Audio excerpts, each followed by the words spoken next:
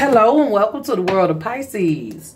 Pisces, I hope that you all are radiating positive energy at this time. If you're dealing with a Taurus, this is going to be your love reading.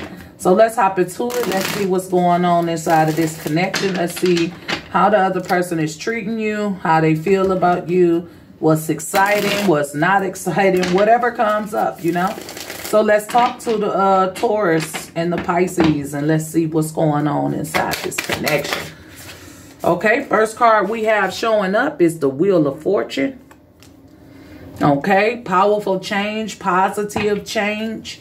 Speaking of fate, y'all might be a divine couple. A great match for each other.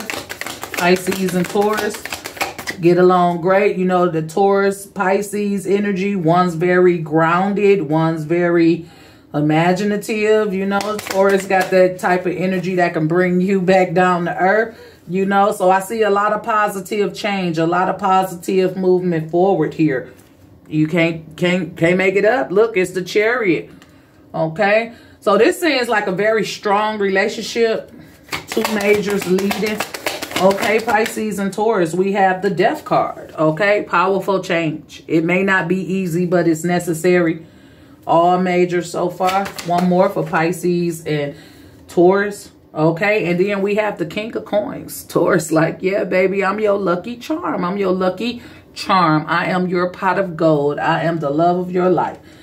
Okay, so Pisces, side note, what I do see is this person not being so, so, so affectionate, you know, not so lovey-dovey, not so cuddly, not, you know, they more of a provider, you know, they more of a, uh, structured type of person. They boring. I'm sorry, Taurus, but you are boring.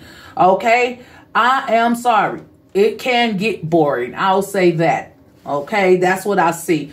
But definitely a lot of good energy here, okay? Because we sacrifice for the ones we want. We compromise, okay? Boring ain't got shit. That's just one little flaw, okay? That don't mean nothing. Okay, because Pisces, your ass is born sometimes too. Okay, so look, we got the Wheel of Fortune, great positive change, good energy, right? A prosperity and abundance. Okay, it's it's it's it's full of life in this relationship. The Chariot, positive movement forward, determination, the wheel, aiming for that success or whatever you all are thriving for within within this relationship the death card. It may not have always been that way. You know what I'm saying? Y'all probably had to build up to where y'all at now. Cause nobody really starting off strong. It take years, months, weeks, however long a person been together.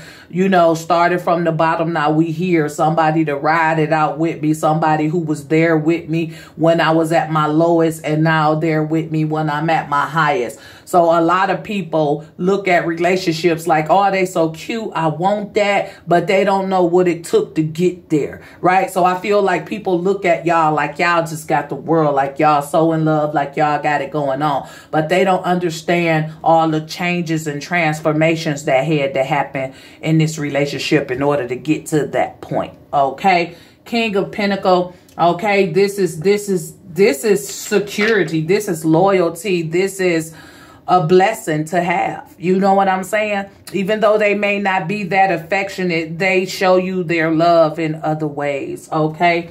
So, Pisces and Taurus, this is the energy. What's crossing it? The Three of Cups, okay? Y'all have so much fun together. You know, y'all might be hosters. Y'all might host a lot of parties. Uh, y'all house might be the house people come to to celebrate, you know, to have fun, to kick it, drink, whatever.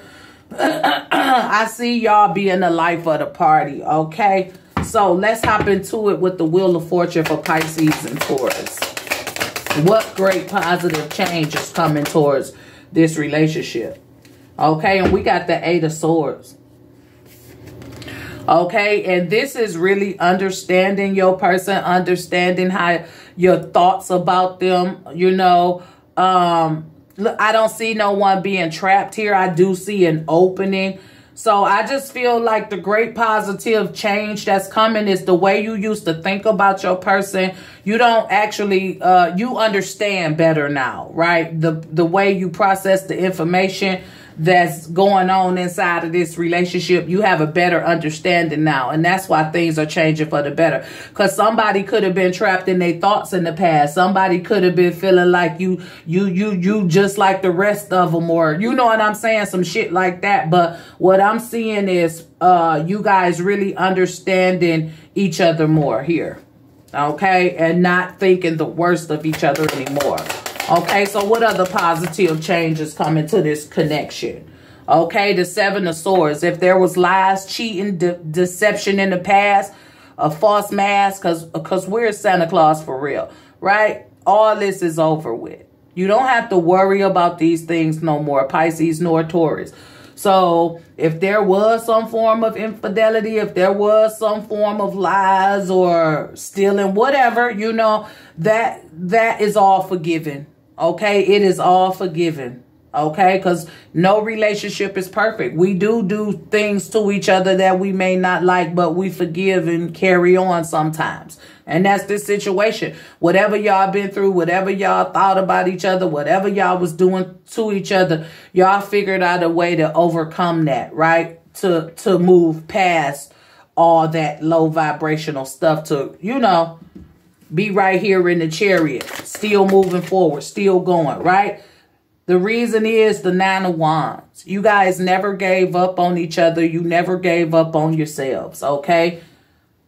Yeah, y'all may have been broken, hurt. Look, he got a boot on his leg and on his arm.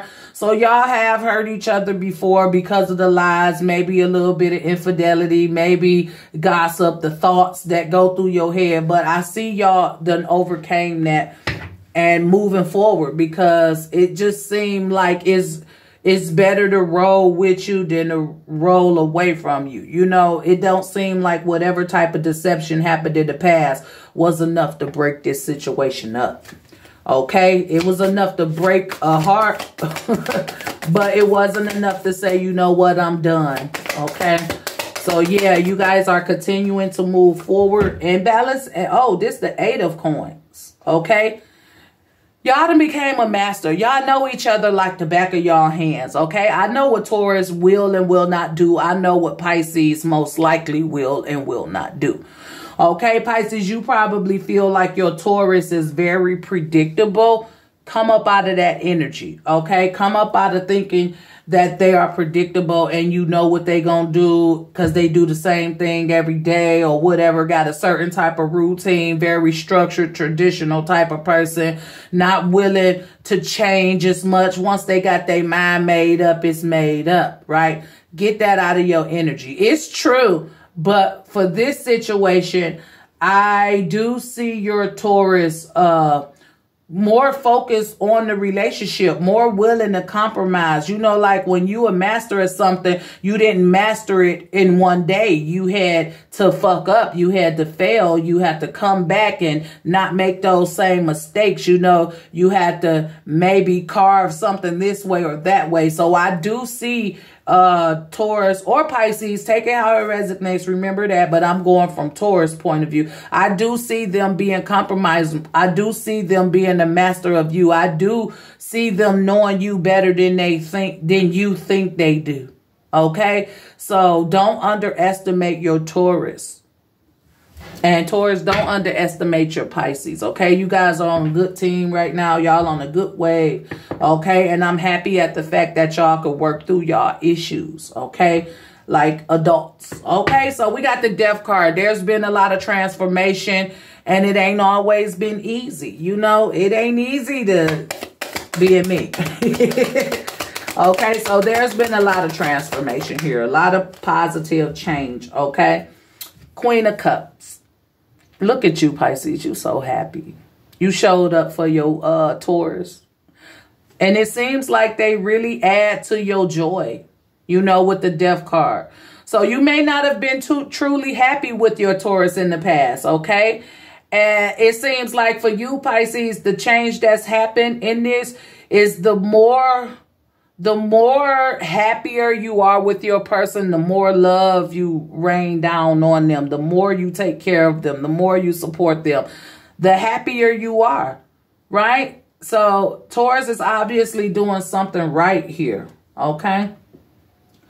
Because there's a lot of love and care in this relationship, okay? There's a lot of togetherness. We also have the Two of Coins, okay? There are things that still need to come into balance. You know, nothing's perfect. There are small details that you all need to work out that that could be harmful. Because I'm seeing someone looking sick. I'm seeing a little needle going in that, whatever that is in this garbage pail kid deck. So I do see uh, there's still a little bit of toxic energy around this, but I feel like the pros outweigh the cons in this connection. Okay? And I feel that things will come into balance as long as you all stay on this path that y'all on. I see it working out. I see this being the jackpot. I see this being your forever person, you know, depending on how y'all swing things. So with the King of Pentacles, this is loyalty. This is abundance. This is a commitment. Okay, this, this connection may lead to a marriage. Okay. Very wise. Okay. And this is actually a Taurus energy here with the Hierophant. Okay. I see commitment happening, possibly a marriage, okay? If I hit the jackpot, why wouldn't I? Okay? A proposal might be coming. Okay? Seven of coins. Yeah, a proposal may be coming here. Because I don't feel like you guys are putting all this working into each other and investing into each other the way you guys are just to have a mediocre type of relationship. No, we're going to do this all the way. We we we are committed. We're we're going to get married one day. So Pisces and Taurus, according to the cards, you guys may get married one day. Okay? After, you know, some time. Look, what's crossing it? The sun. Okay, this is your forever person, baby. I felt like it was a divine counterpart. Like this relationship is divine. You guys were meant to be together. Okay, you will have success. You will have some prosperity. You guys are already growing together, all the things you've been through, and you guys are still sticking it out, still working with each other, still uh, learning, growing, and understanding. So yeah, there's a lot of potential for this relationship to turn into a happily ever after marriage. So Pisces and Taurus, that is the energy. I hope it resonates. Let's get a message of love for you guys. What do you guys need in love? And we have self-love, okay? Don't forget to love yourself first, okay? Seems like both of you may put your energy into each other, but you also have to put it into yourself. So you realize um, that love of self is necessary to love another. So don't forget about yourself, baby. All right. So Pisces and Taurus, that's your love message.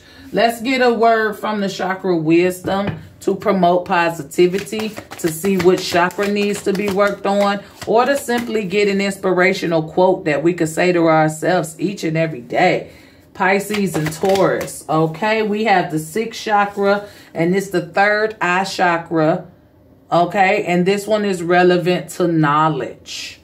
I recognize that a great deal of knowledge and information comes to me in the form of intuition, such as clairvoyance, clairaudience, and hypersensitive feelings. I use my intellect combined with my intuition to devolve into circumstances from a psychological and spiritual viewpoint. I aim to understand the truth behind situations that come my way, as this helps me to respond with wisdom. I cultivate positive beliefs about life and eh, myself and others. So knowledge is the positive energy. If you're new to my channel and you like this video, go ahead, hit that like or subscribe button. For those of you who are returning, thank you for your continued support. And remember that your comments are always welcome. This is all I have, Pisces and Taurus. As always, be safe, be blessed, and I'll talk to you guys next time. Bye.